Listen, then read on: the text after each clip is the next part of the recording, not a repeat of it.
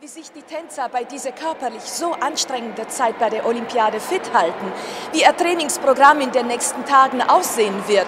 Mr. Osberg, ich wäre sehr interessiert zu erfahren...